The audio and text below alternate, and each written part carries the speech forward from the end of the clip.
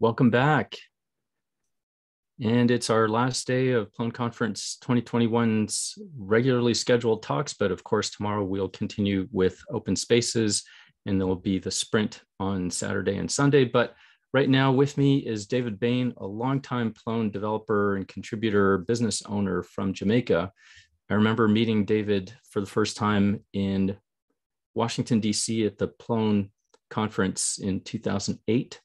And uh, I remember being uh, very impressed with David and his sharing of technologies and tips and methodologies uh, that he discovered himself and was happy to share, eager to share with the Plone community. And so today, again, in that same spirit, David is going to be talking to us about how to scratch your own itch and contribute to open source projects. Thank you, David. Take it away. Thank you for that introduction, Kim. So let's get started.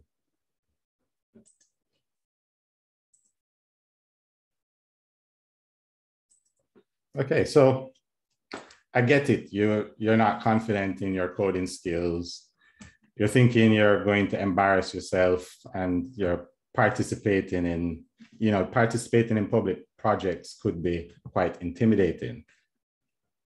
But you want to contribute to an open source project. And there must be a way. I mean, uh, how do you get started?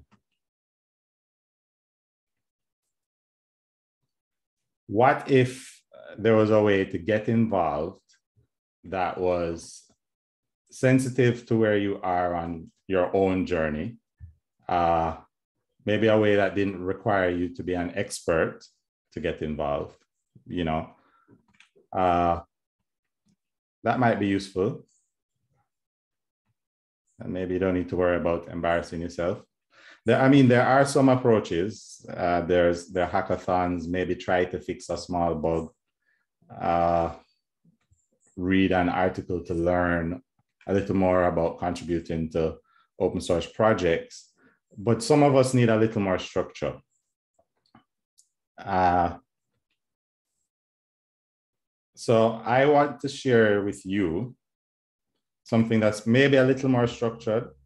And I'll share an old example. This is uh, this is not something that happened in the last you know three years or anything like that.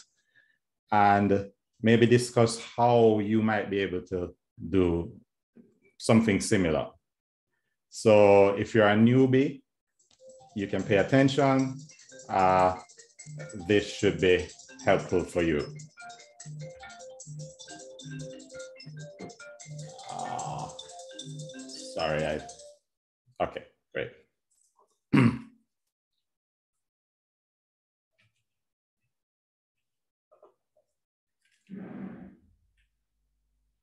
so let's get into this. My name is David Bain. I am a business designer with lots of Plone uh, roots and experience. I obsess about making things better and hopefully I'll help you to be better at contributing to open source projects. So this is really a story of what I did and how I did it, and then a little discussion afterwards.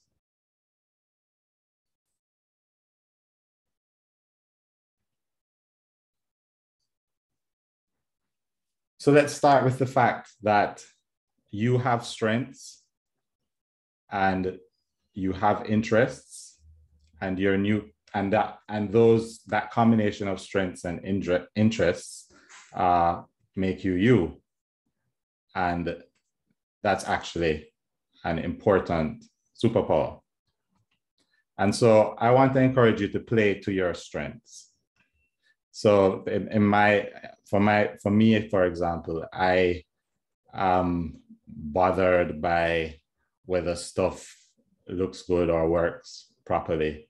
And so if I see something, I want to figure out, all right, how can we make that better? So let's start with what I did, just to set some context. This is sometime in 2014. you know, it's not a decade yet since the iPhone, and we're still communicating on IRC. And I wanted an easier way to install Plone, just to, uh, for development and things like that. It turns out in 2013, Alex Clark wanted the same thing. So he started a project called Plock. Um, it's a bit of, uh, eventually kind of evolved into a workaround uh, for people who might want to pip install uh, Plone. Uh, it never got to the point where we are now. For those who know, we can now pip install Plone, but it was a pretty good workaround at the time. Uh, the contributions that I made to the project, I helped to make it faster with uh, an approach of caching, having the cached version of packages extracted from the unified installer. I added a little bit of artwork and some documentation. So how did we, how did I go about uh, approaching this project? Well, the communication happened on IRC. Um, here is a screenshot from, I don't even remember which IRC client at the time. And uh, just some conversation between myself and Alex Clark to just talk about, you know, well, what could we do with this Plock thing? Uh, so he, he had already had a Git repository. So I forked the Git repository and made my changes, added, you know, put together a little graphic so that it made it look a little more interesting. Uh, added the capability to uh, pull from the unified installer and have those eggs uh, added so that you don't have to do this one by one pull from PyPy. And I documented uh, some of it as well as documented my activities on my blog. So this was a weekend sprint um, sometime in October 2014. And I documented the, the process so that other people could know what was happening. So that's how I did it. Let's distill that approach, kind of step back and look at it and see how we could repeat that for modern Plone. Maybe you're working with Volto, maybe you have experience with React, and you want to take that and, and apply this approach to contributing and helping. So I've come up with four important ingredients. Uh, you really want to understand a little bit about yourself and your strengths and decide how best you can contribute. Uh, try the software, um, fix the software, and share what you're doing. So you want to be able to say, uh, what are my strengths? Maybe I'm stronger in squares than triangles. Uh, I'm learning circles, and maybe this is an opportunity to use what I'm learning to contribute. Uh, well, go ahead. Just kind of have a feeling of where you where you'll be stronger, and see if you can contribute there. Uh, and yeah, audit yourself. Uh, once you've done that, and this, these first two don't necessarily need to be in order you have to be using the software. If you're not using the software, you won't have any itches to scratch because there won't be anything bothering you and you won't be saying, you know, this needs to be improved. So you definitely need to be using the software. Um, and while you're doing that, report back. Go to community.plone.org and let people know what you're trying, get feedback, ask for help. You can even write an article about your first few hours with Plone. Uh, what was that like? And then um, if you have issues, you can report bugs. Uh, then you get to the level of fixing the software. Uh, it could be documentation that wasn't reading properly or was inaccurate. Uh, maybe there's lack of documentation and you could document something. And by the way, you don't have to document it in the official documentation. At first, you could put it in a blog. You could do a blog post or even at community.plone.org.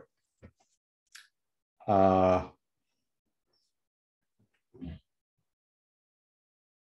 just reminding you, you won't be able to do this if you haven't been using the software. Share what you're doing. Uh, so once, once you've made a change or anything, blog about it. Uh, maybe do a presentation, a lightning talk, or even host a small event in your locality, just to kind of show people this is what I've been trying. You know, even if you're not hosting an event, present at an event and show people what you're doing. Won't be able to do this unless you've been using the software, of course.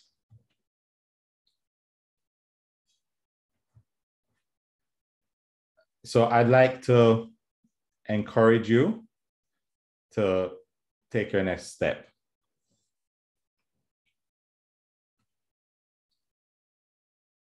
And I'm just reminding you of those steps.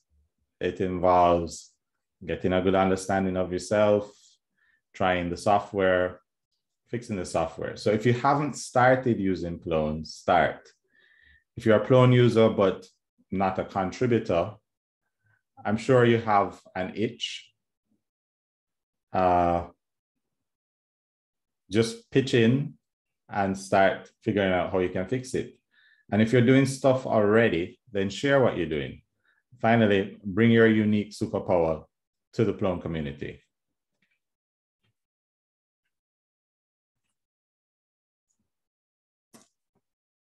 Thank you. Uh, my name is David Bain, and you can get me at this address. And uh, I just want to encourage everybody, take this opportunity and maybe borrow some of these ideas so you can start scratching your own itch.